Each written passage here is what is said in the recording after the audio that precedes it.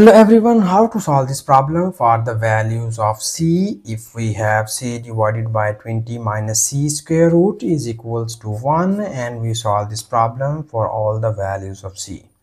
Here first we find all the roots of this equation and at the last we will be verify that which of the roots are solution of this equation and which of the roots are extraneous root.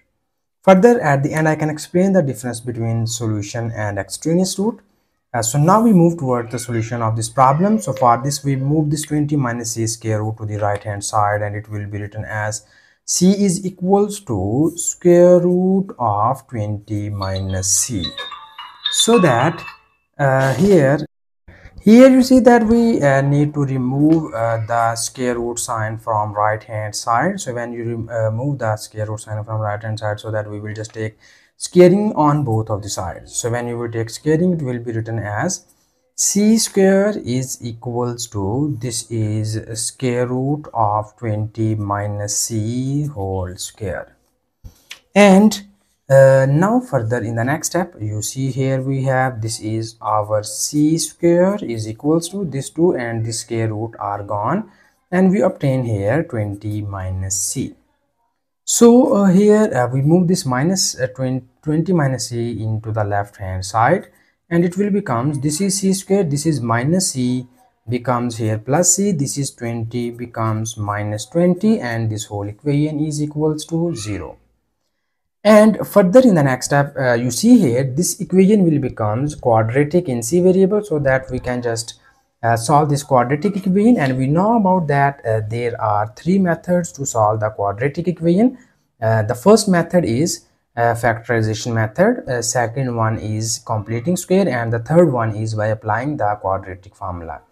But here i can just use the factorization technique to make the factors of this equation. For this we need to break the middle term of this equation. So you see here its middle term is plus c and we write this plus c as 5c minus 4c minus 20 is equals to 0 and now you see here both of these terms involve c so that we will take common c from here and this will become c plus 5 and here we take common minus 4 and we get c plus 5 is equals to 0 and further in the next step you see here we have uh, we need to take common c plus 5 from both of these equations. And when we will take common c plus 5 we get the remaining values are from here we get c minus.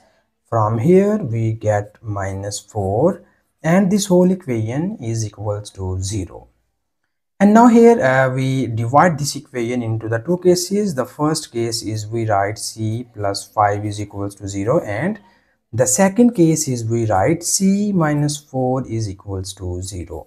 So from here we easily get the value of c is equals to minus 5. This is our first root of the given equation and from here we get the value of c is equals to plus 4. This is the second root of the given equation. So you see here uh, we get the two roots of the given equation uh, and now here in the next steps we need to verify that uh, which one of the root are solution of this equation and which one of the roots are extraneous root. So for this we need to copy down given question statement here it is c divided by 20 minus c is equals to 1. So this is the our given question statement and here uh, we need to put the value of c is equals to minus 5. First we verify this value of c okay? So when we put c is equals to minus 5 into the left hand side of this equation, it will be written as minus 5 divided by square root of 20 minus c. And the value of c is minus 5 and this whole equation is equals to 1 and uh, now here in the next step we have this is minus 5 divided by this is square root of 20 and minus times of minus becomes plus 5 is equals to 1 and uh, further you see here we need more simplifications and we will obtain here this is minus 5 divided by this is a square root of 20 plus 5 becomes square root of 25 is equals to 1 and here we have this is uh, minus 5 divided by square root of 25 becomes 5 is equals to 1 so this 5 is cancelled out by this 5 and we get here minus 1 is equals to plus 1 so you see here minus 1 is not equals to plus 1 in general. This means that uh, the value of c is equals to minus 5 is not satisfied our given question statement. So the value of c is equals to minus 5 be the extraneous root of the given equation okay? Uh, and here we need to verify our uh, second root and we know that uh, the second root of uh, c is equals to 4 okay?